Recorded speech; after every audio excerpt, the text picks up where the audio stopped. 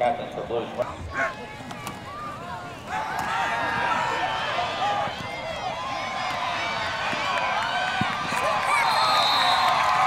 Pazzo in for the touchdown.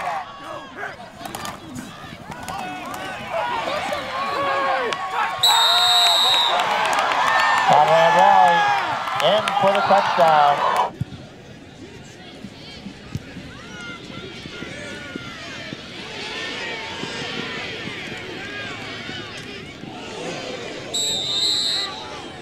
Malik Jackson on a return. There's a flag on the play.